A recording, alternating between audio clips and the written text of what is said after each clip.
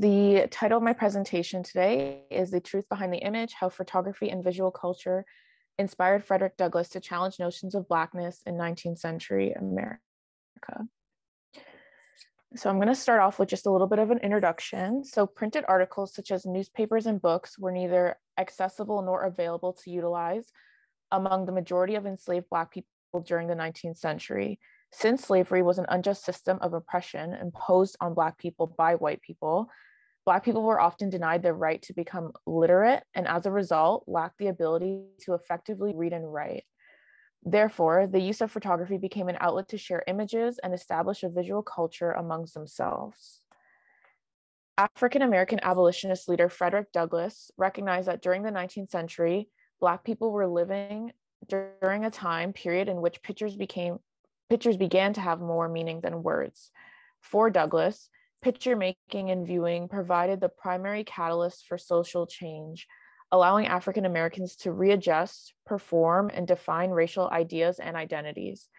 Douglass also saw photography as a positive platform for African Americans to distribute printed content, printed content because it was more accessible for the ordinary person, unlike books and newspapers during that time. Throughout the 19th century, photography became a powerful tool for Black people to utilize as it encouraged Black people to individually define Blackness, reclaim the Black body as valuable, and display a means of knowledge and intelligence within the Black community. So my presentation today will address the ways in which photography functioned as an effective instrument for African Americans to challenge existing representations of Black people within the 19th century. So for the purpose of this presentation, I will be focusing on the practices and benefits of photography utilized by Black people, including the Black dandy figure. I will discuss the idea of surveillance as a means of policing the Black body and also highlight activist and author Frederick Douglass, whose pictures acted as political statements and attempted to redefine what it meant to be a powerful Black person during the 19th century. I'm just going to quickly transition into a bit of a historical context so that we can understand what this time period was like for enslaved Black people and then moving forward from that time as well. So to, ex- to exist in an environment where your humanity and sense of self was forcibly stripped away and denied is an experience one may illustrate as a social death. The unfortunate reality of being handled like an animal, marketable, and sold as a means of economic currency and owned as a piece of property was the life in which many enslaved Black people endured during and throughout the years of slavery. Saidiya Hartman's Lose Your Mother is a book that addresses the type of social death many enslaved people experienced. This included the ways in which Black people could only dream of a country that might love them in return and where their skin was not a prison. Along with a social death, the inevitable afterlife of slavery was another detrimental obstacle. So, this afterlife would be considered um, once slavery was abolished, and this would include skewed life chances, limited access to health and education, premature death, mass incarceration, and impoverishment, were new systems of oppression imposed onto Black people. One can only imagine the hardships and identity crises that enslaved Black people encountered while existing and just simply living. In his formulation of double consciousness in 1903, W.E.B. Du Bois argued that Blackness was a conflicted identity shaped by multiple discourses. For Du Bois, personal Black identity is the intersection between Black communal solidarity and a white supremacist ideology. The ability to self identify is a rather radical act, especially for Black folks. Self identification is significant to the development of the sense of self, and who better deserving of a personally constructed identity than of those who were denied the basic civil rights. The practice of photography helped advance and readjust racial ideas and identities that had prevailed within a white supremacist American society. Both African American men and women utilized photography as a means of representation and to perform their identities, which as a result began to shift a dynamic visual culture amongst Black people. Abolitionist thinkers like Frederick Douglass in the late 18th and early 19th century understood that American society was progressing in a time in which pictures began to have more meaning than words. Frederick Douglass encouraged Black people to not only practice, but to exploit photography and applaud the accessibility of photographs for ordinary people. So, as Black people began to utilize photography, many people believed that Black people could appropriate by means of the camera the power of objectification that slavery wielded, and photography would, as a result, become an agent of radical social change. So, Frederick Douglass also spoke to the social death. Douglass thought of himself as one born socially dead. As a young boy, he was separated from his mother by the realistic fact of slavery and later considered photography as a weapon in his flight to become a man in spite of his status as a slave. So during the 19th century, racialized systems and laws were enforced in the United States to police and control the Black body.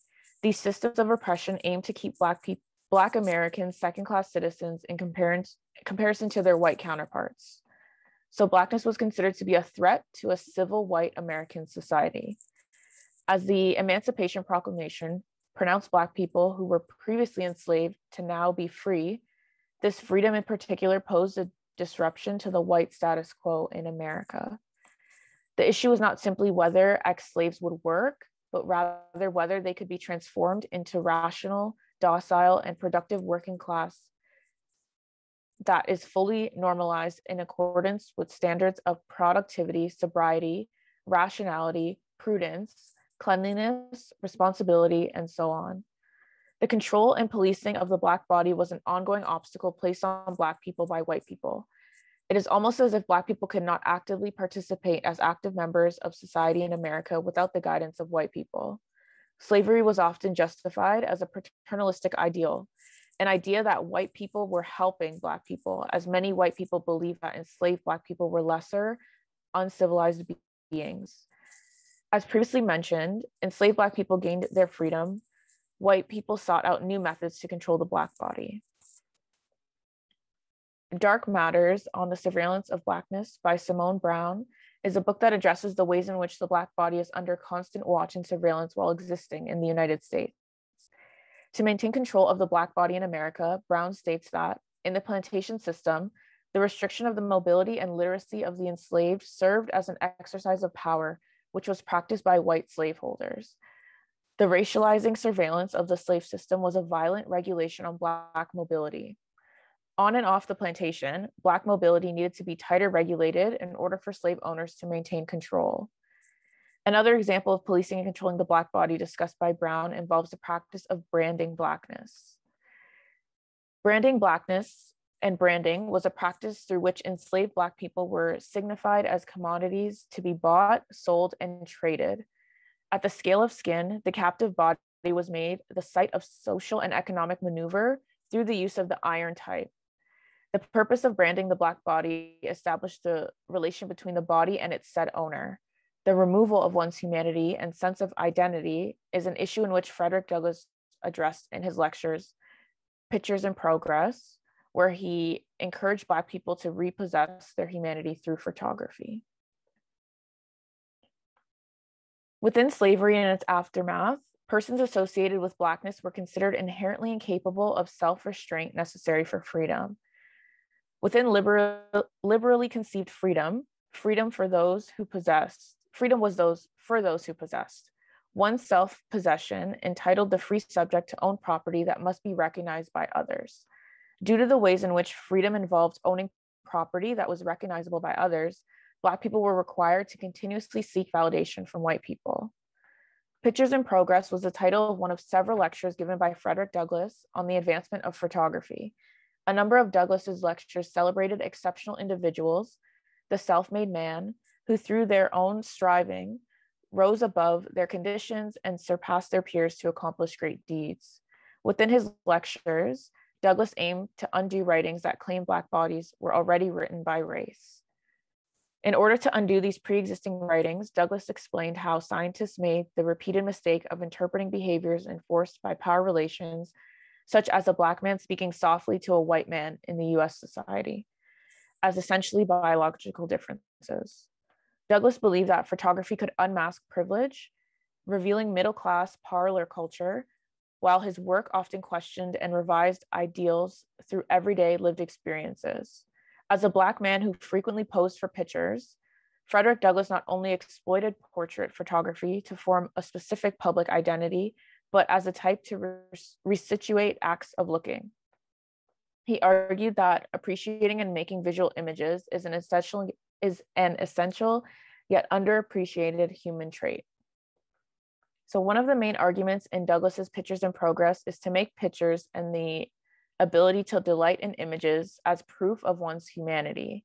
Ideally, Douglass's Pictures in Progress argued that pictures are incredibly important, not because they reveal a true, truer depth drawn to the surface and authentically available to scrutiny and preservation. Through his lectures, Douglass identified a process of thinking linked to Black potentialities. There had become an awareness of potential reachable potential reachable by Black people to create new images for themselves as free individuals in the United States. One of the key questions Douglass tried to answer in Pictures in Progress was how truth is made, its truth is to be made into the material form.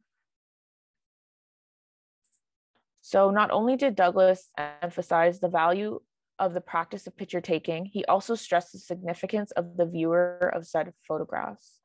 Douglass claimed those who adore pictures do so because their own human self creation takes place through pictures, as do all human process, progress. Douglass insisted that the practice of photography and picture taking was very natural for the creative and also the ordinary person.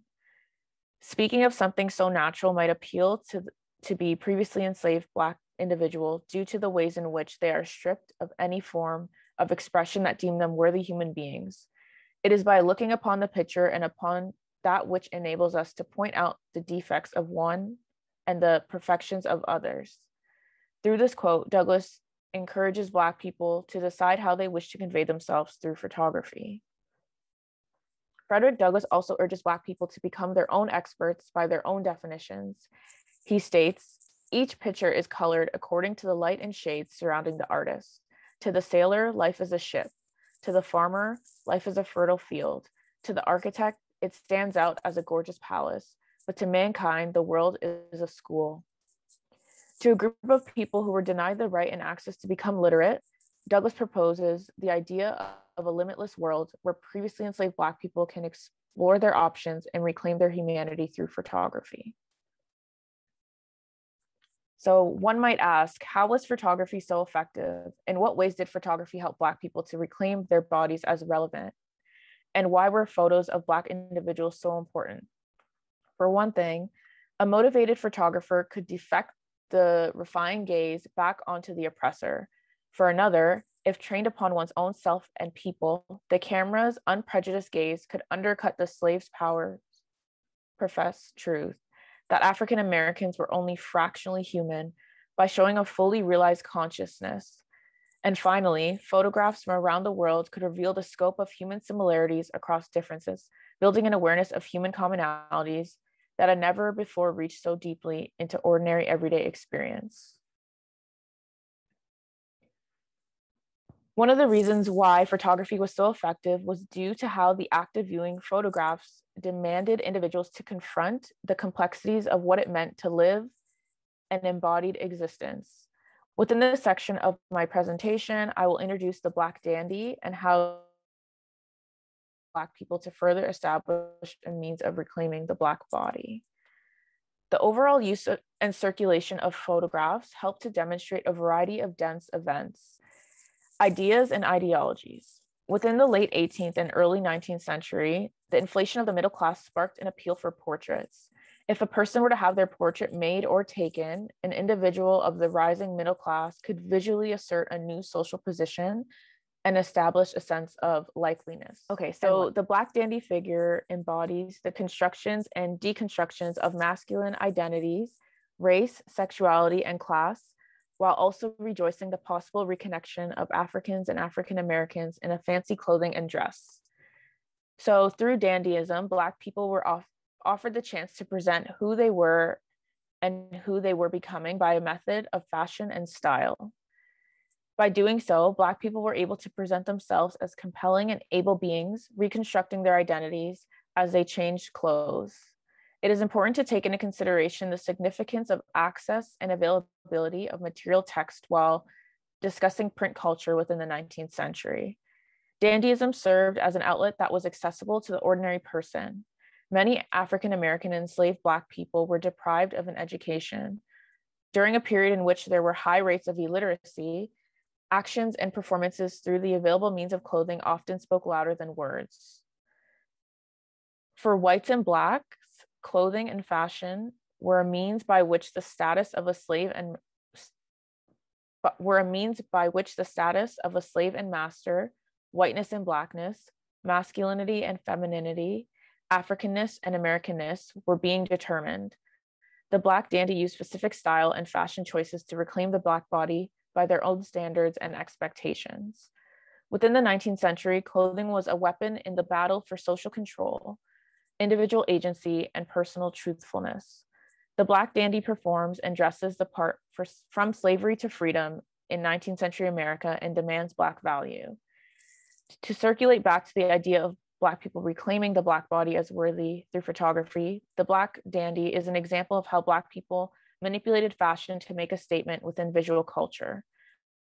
When Black people use the body as cultural capital and clothing as a necessary means of self worth, a dandy style reveals the value of Blackness in a global market of identity formation. Um, one thing I also wanted to note about the Black dandy figure and just clothing and style throughout this time period was that a lot of um, Black people were advancing into the middle classes in society and also showing and proving themselves in ways that were equal to white people. So, not that they would want to dress the same way to replicate white people, but to be in a position to say, I'm worthy just like the next person or just like um, the other.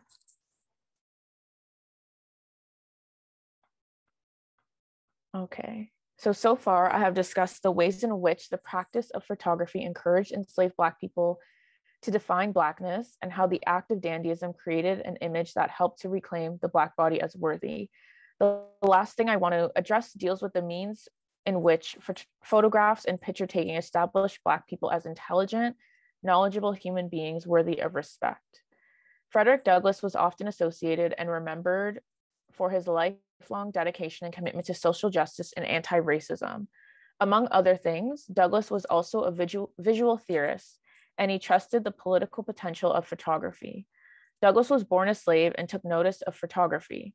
Douglass's positioning around usage of photography differed from his counterparts, who saw photography as its and its benefits based on exactly how the camera was capable of reflecting existing social affairs. Life Pictures, Age of Pictures, and Pictures in Progress are titles of a few lectures in which Frederick Douglass gave in regards to the power and influence of photographs in the 19th century. Along with these, Douglass gave multiple lectures between 1950, sorry, 1859 and 1866, praising the advancement of photos and portraits. Photographs and portraits were easily accessible amongst the average illiterate person, the distribution of photos, one could imagine, became inspiring for the once enslaved Black individual. In a time where pictures spoke louder than words, Black people could pose, gaze, and look directly into the eyes of the viewer, establishing their own sense of self and humanity. Exploring the limitations of photography allowed Black people to challenge definitions of human existence and develop Black social progress during the 19th century in America. Frederick Douglass was photographed numerous times throughout his life, within sorry within these images the views the viewer sees a constant gaze and pose performed by Douglass. by posing this way it is almost as if Douglass is looking directly in the eyes of the viewer addressing them precisely reflecting the gaze of the white man back onto him through his rhetorical choice of pose, Douglass is demanding the respect he deserves as a Black man in America not only did Douglass recreate an image for himself through photography, he also inspired other Black people to do the same. Critics argue that Douglass's beliefs about pictures ought to be just as significant to the histories of visual culture in the United States as his sitting for pictures. There are a number of things we can call attention to from looking at pictures of Frederick Douglass. Instead of masking the despairs forced upon the former slave, Douglass's portrait illustrates another kind of social uniformity, the conventional portrait of Frederick Douglass, posed in an isolated three quarter view with a serious facial expression and elegant upper, cl- upper class attire is such a well known image that even today his face often remains unhesitantly recognizable. Douglass presents himself with extreme consistency over decades, challenging the standard requirements of the more custom everyday pose. As many African American intellects refused to perform according to the standards of a racist white American society, thinkers like Frederick Douglass aspired to display a means of respectability in which was achievable by the typical Black person. Even though Black people were denied the rights to explore their literary capabilities, the use of photography became an outlet to share images and establish a pictorial society amongst Black people. Frederick Douglass strongly believed that African Americans were the most vital viewer of their own photos. Presenting the self as worthy mattered to fellow Black viewers as much as it did to white viewers. Seeing a Black man like Frederick Douglass stare into the camera, looking directly at the oppressor with such an intimidating gaze inspired other Black people to, to state that I too am deserving of respect, I am intelligent, and I too, like Douglass, can exploit the practice of photography as a means of challenging existing perceptions of the Black body. And that concludes my presentation. Thank you so much.